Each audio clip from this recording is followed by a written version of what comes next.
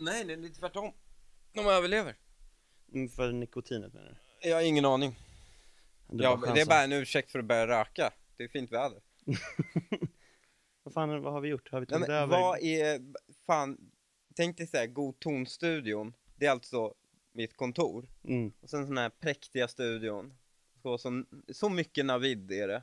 Någon iransk mustaschgubbe och, och. Det osar ju framgång. det, det här är ju liksom, det här är det som är skillnaden. Men Ja. grejen alltså, det är ganska typiskt för att det är ju rätt uppenbart, eller så här, man kan ju, man skulle kunna räkna ut med, med vrångstrupen Mm. att hur kan vi skulle bli en succé? Mm. Så att man har råd med den här typen av studio. Ja. för att liksom svenskar är så jävla konsensusdrivna. ja. Jag kollade på så här, ett så informationsklipp, eller typ som, en, som ett så här, det här är hur kan vi, som Mm. Navid la upp på YouTube. Mm. Så om man söker på hur kan vi så hittar man liksom så här, ja men okej, hisspitchen av hur kan vi. ja. Har du sett det här? Nej, Men det är typ så här ett fyra minuter långt klipp där han, eh, jag måste se citatet exakt så här, när han går igenom liksom så premissen för själva idén då, hur Ja. kan vi? Och den lyder så här. Om vi har samtal med varandra så leder det till ett bättre samhälle. Och det är ju naturligtvis helt åt helvete. Ja, det är så. Alltså så här, samtal leder inte per automatik till ett bättre samhälle. Nej, gud nej. Utan liksom, ett bättre samhälle kanske förutsätter, alltså ett bättre samhälle kräver att samtal äger rum. Ja. Men jag menar varenda, varenda skolskjutning, terrorangrepp har ju föregåtts av samtal. Nej men det är ju inte det, det är ju är inte samtalet bara termometern. Vad menar du? Det, det, det är ju inte botemedlet på febern. Alltså, Nej. din kapacitet att kunna ha ett samtal med någon. Ja men ett är ju- samtal kan ju leda åt vilket håll som helst. Ja, ett men inte samtal behöver det- inte leda till något absolut. positivt. Nej men att ett samtal leder till något positivt är temperaturmätaren. Mm. Förstår du? Att Mm. så här, två normala människor kan sitta och eh, ha ett normalt samtal med varandra. Det är temperaturmätaren på ett samhälle. Mm. Eh, medans då när, när, det är ju inte lösningen. Nej, Förstår du? nej. Och det är inte heller en per, automati- ett- per automatik en lösning. Alltså Nej. det är ju så han uttrycker det som att det är, samtalet ger det, det goda, ju det för- bättre samhället. Men det är ju för att han inte är eh, Hanif Bali höger, nämligen att eh, han tror ju på det här socialkonstruktivistiska att om, så länge liksom, om vi pratar rätt om saker, om Mm. vi klarar av att göra det och Mm. gör det på rätt sätt, då, Mm. då formar vi verkligheten.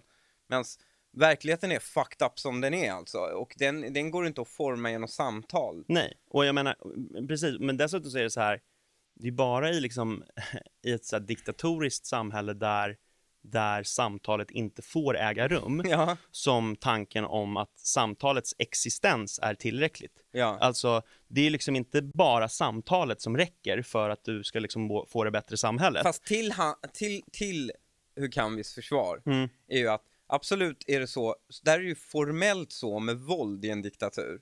Men i Sverige, i och med att vi är ett konsensusland, så är det ju med skamning och liksom socialt tryck. Mm. Liksom. Mm. Vi uppnår exakt samma utfall. Ehm, vilket är, ja men det är en sjuklig egenskap vi har.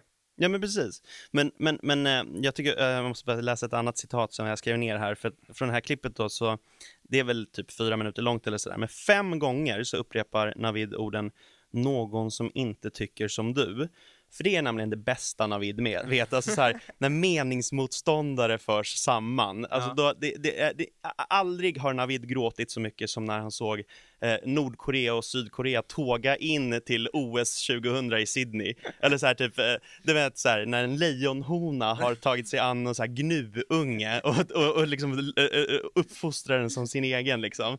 Då, då snyftar han så det bara visslar om näsringen liksom. Men, men eh, eh, och sen så så här, eh, eh, han, eh, han säger också så här, hur kan vi är inte gulligt, enkelt och trevligt? Jo, alltså det jo, Det alltså hur kan vi är gulligt, enkelt och trevligt? Och framförallt hur kan vi live? Hur kan vi live är ju alltså det är som, ja, det, det får mig att tänka på så här eh, Sega 16-bitars när man spelar Sonic the Hedgehog. Genes- eh, Megadriven. Ja, Mm, mm. När, när, du, när du klarar det, Mm. Vad som händer då är De det kommer så här här, gulliga djuren som ja, sprutar det, ut. ja, det kommer så här Ja. glättig musik och Ja. så hoppar liksom alla skurkar och alla, alla goda hoppar runt så här till glättig musik och så Ja. är liksom alla problemen är begravda och liksom vi vänder blad. Det är Hur kan vi live? Liksom det. Tanken med Hur kan vi live är att Jens Ganman Mm. ska liksom, ska, ska ha övat in en dans ihop med Jan Helin och så liksom ska de omfamna varandra och ge beröm åt varandras styrkor och så här. och så liksom en tårögd alltså- publik för slowklappar liksom. Men det, det, det, det bästa med Hur kan vi live, Mm. det är green room. Ma- ja, så bara för att där, men det är där alla möten sker. Då. Det är Du där ju alla Navid, möten, alltså, alla är här, a, a, när Navid inte är med, när han står på scen i green room, när de här, när brokiga skaran människor samlas, Ja. det är där de riktigt genuint eh, intressanta samtalen sker i, i, i kaos. Ja. Du vet, så här, oh, han, han, alltså hur kan viss produktion är så jävla professionell liksom. Men då borde göra en sån här Så han har ett. Excel-ark var, var femte sekund vad, folk, vad som ska ske liksom. Men man borde göra en sån här norsk slow TV-produktion, eller så här, som den här älgvandringen, man ser, ser så här fyra timmar av dig och Bard inlåsta med typ Chang Frick Ja, men ja, alltså liksom. det jag, jag, jag tänkte på det. Så i och för sig skulle det ju, det här blir ju lite som Schrödingers katt liksom. S- när du uppmäter det så, så försvinner kvantstadiet liksom. Mm, Men, men det är ju så här, om någon hade en gömd kamera mm. och bara kunde spela in det, då skulle det faktiskt vara det där samtalet som hur kan vi försöker, försöker uppnå.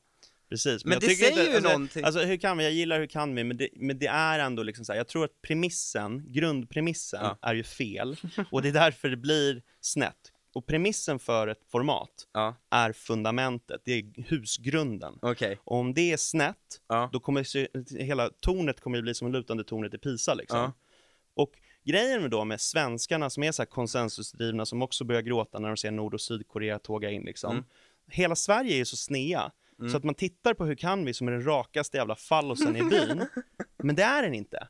Utan i utkanten av byn Mm. så finns det ett annat torn Mm. som är liksom som är rakt, men det kanske inte det ser är rakt ut. mycket, mycket större. Du behöver liksom så här räta upp din egen rygg för Ja. att se att det är det som är det raka. Och det Ja. är alltså det bättre tornet, det goda tornet. Det goda ton. God ton. Ja, såklart.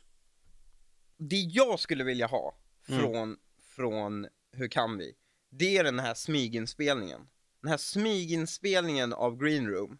Alltså jag jag önskar den här coronaskiten är över så vi kan samlas i det här Green Roomet och ha de här helt urflippade samtalen vi kan ha med alla de här liksom olika rösterna Men i inte själva grejen att det inte spelas in, just därför blir Ja, det han måste utklippat. smyginspela det. All right. Han måste, det liksom Det här är måste bli. Eh, smyginspelning. voyeurism du gör. Ja men alltså det, om, om, om man är redo att betala Mm. för att titta på någonting så är det ju att titta på det. Mm, nej men jag Eh, köper det. Och, och det skulle tror jag vara, det är det där samtalet, det ostyrda samtalet där ingen i rummet håller med varandra. Mm. ehm, som, där, där också offentlighetens ljus är inte på dig, så alla kan prata fritt. Eh, och då Det märker... på, om Alexander Bard är där så kan man inte prata fritt, Nej. då kommer han ta all syre i rummet. Nej men fast det sköna med Alexander är att han kommer inte respektera dig om du inte avbryter honom. Men hur är det skönt? Det är Det är som att asskönt! man går bara så här, Men- han förhandlar priset på en matta i Marrakesh liksom. Man måste bara skrika högre. Ja, men- fan? Kan, ja. man, kan man inte bara släppa in Jag är från? Mellanöstern, det här funkar perfekt för mig. Men här, det, det är bara så här, äh, det är det jag tycker är så himla bra och jag, jag tycker, fan jag önskar alla fick ta del av det. Mm. Men det är också en temperaturmätare på vårt samhälle. Att det samtalet inte, att, att om kamerorna går på försvinner det samtalet. Är ju också beviset på att hur kan vi är och nosar på någonting. Ja, absolut. Ehm, så, Och det är ju precis, att det blir en slags polerad yta för att man, Exakt. man eh, hyfsar till samtalet när man vet att man är filmad liksom. exakt. Mm. Så nu, nu finns det inget green room. Så det här är det ni har, svenska folket, och ni som lyssnar på det här. Eh, men när det här är över, då jävlar är green room tillbaka. Och då borde, då borde den riktiga dokusåpan, alltså den här gömda kamerorna, Big Brother, eh, hur kan vi komma tillbaka? Det är min pitch. Ja, men det kommer inte vara med oss två efter den här Nej, av hur nej, nej, nej. vi- Men vi överlever för vi har god ton. det är fan sant. Ja. Ja, ska vi dra? Ja, det gör vi.